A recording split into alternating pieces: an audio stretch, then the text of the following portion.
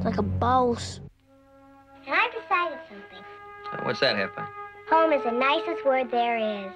Do you guys remember that Little House in the Prairie episode where fucking uh, uh, Michael Landon was busting his ass all week and then they had to go to church on Sunday and he was so fucking tired he fell asleep in his church clothes and the mother looked at him and he's like, Should I wake him up? And she's like, Ah, no, he's sleeping like an angel.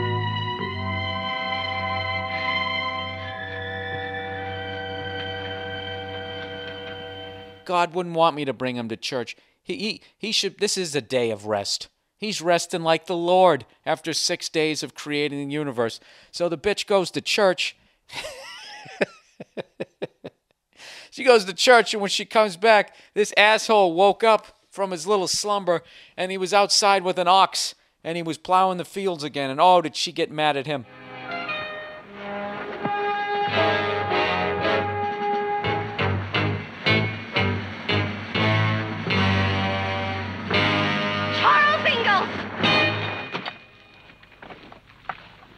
Carolyn!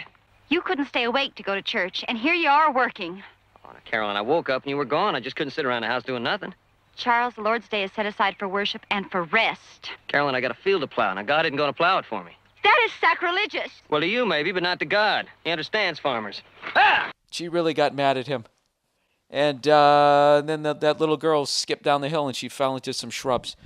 And that was the end of it. And that was another episode of Little House in the Prairie. Let's continue on with the uh, Orthodox Jewish person's email.